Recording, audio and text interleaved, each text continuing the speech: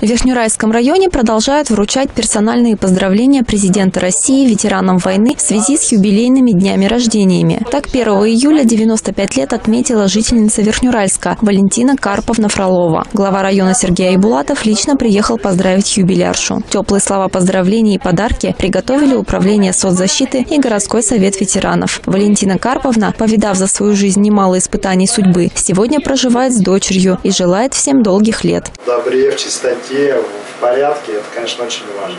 Мы от всей души вас тоже поздравляем, да, что ваша мама дожила до 95 лет. Спасибо. Это... Благодаря дочери. А я хотел даже благодаря тому, что сначала родители ухаживают за детьми, у нас же всегда да. так, да, а потом уже дети ухаживают за родителями. Поэтому вам огромное спасибо, что мы вот имеем возможность да, пообщаться с 95-летним человеком. Это сейчас не так часто бывает. В рамках недавно введенной практики выездных приемов главы муниципалитета в поселениях 2 июля жители Карагайского обратились к районной власти со своими вопросами. Сергей Куликов, местный депутат, пообщался по работе депутатского корпуса в сельских советах. Анатолий Чернов от лица жителей сделал обращение по ремонту социальных объектов поселка Фурлединский и Александровский. Совместно, значит, вот мы втроем, да, это глава поселения, депутат и глава района. Мы пошагово пойдем. То есть пошагово мы первое, что сделаем, это изготовим документы. Правильно?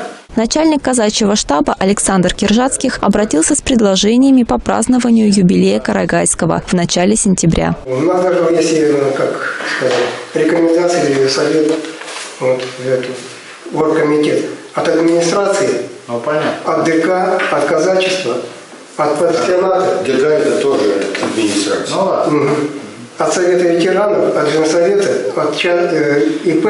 Все, все. Да, чтобы они, мы позвали по одному-два человека. Они, чтобы сейчас начали.